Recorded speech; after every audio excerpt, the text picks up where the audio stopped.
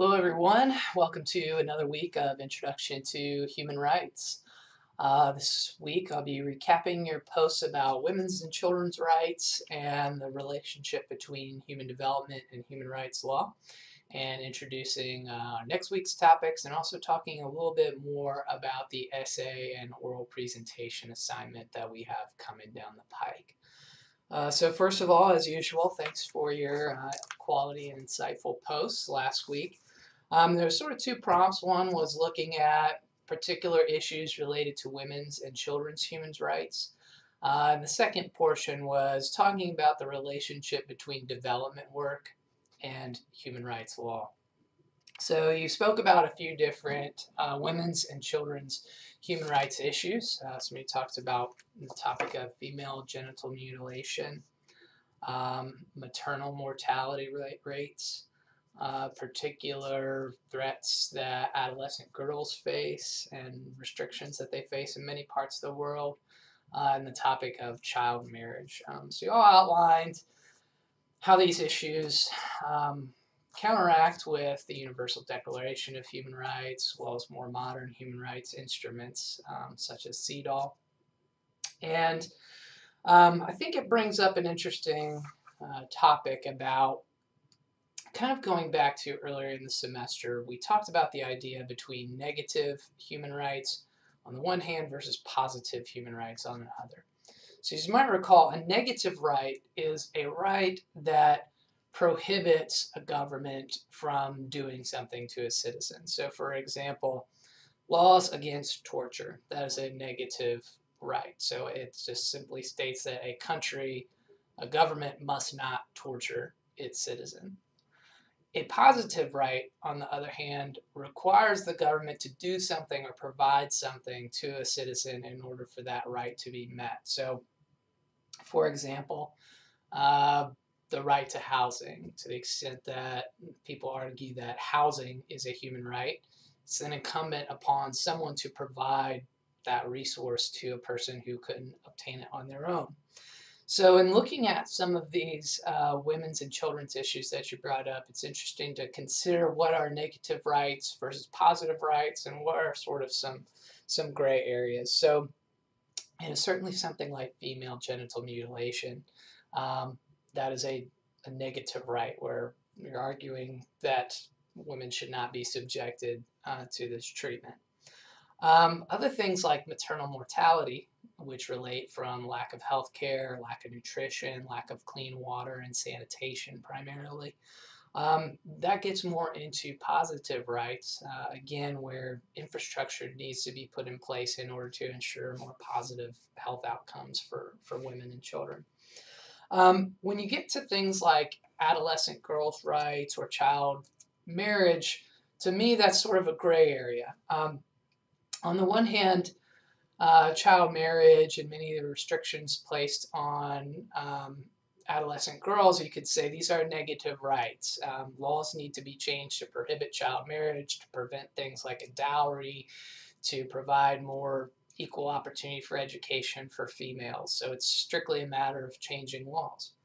Um, however, you have to ask the question of why some of these things exist in a country. Um, certainly there's religious and cultural beliefs um, that perpetuate some of these issues, but there's also economic realities. Um, child marriage, you know, not too many generations removed was a common practice here in the United States, um, due largely to healthcare, uh, or sorry, health uh, and economic realities. People lived shorter lifespans.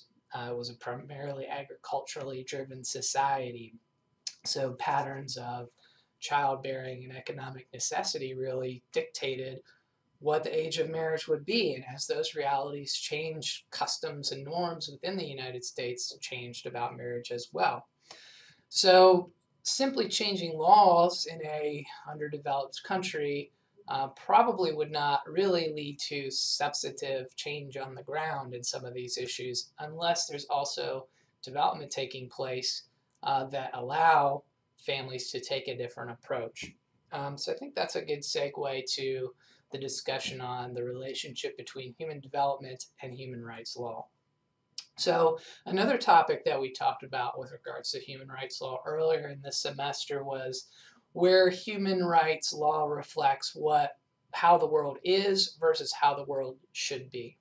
Um, and some of these negative rights that have been more universally accepted are better reflections of how the world is, but many of the more positive rights um, really are reflections or aspirations of how the world should be. So in this case, and many of you talked about this in your essays, human rights, uh, more modern human rights declarations and conventions and contentions essentially are a goal, and human development uh, efforts represent a mean to achieve those goals. So I think you all did a great job of um, talking about the relationship between these two issues. Simply changing a law or passing a treaty at the United Nations um, is not always going to reflect actual changes on the ground, whereas human development work can help to further uh, these goals and bring them closer to reality. So again, excellent work. Um, this week, we'll be continuing to look at some special topics, and our topic for this week will be human trafficking. Um, I'm going to ask you to read certain sections from the United States um, Department of State's annual Trafficking in Persons report. It's a comprehensive overview of human trafficking throughout the world today, and it also provides snapshots of human trafficking in particular countries uh, throughout the world. So in your next blog, I'll ask you to give sort of an overview of human trafficking today, and then I'll ask you to pick a country of your choice uh, and write about human trafficking in that country. What are the realities? Are there any particular prevalent issues that the country is facing right now? And what are they doing uh, to prevent human trafficking? Or what does the United States State Department say they need to do to better address human trafficking?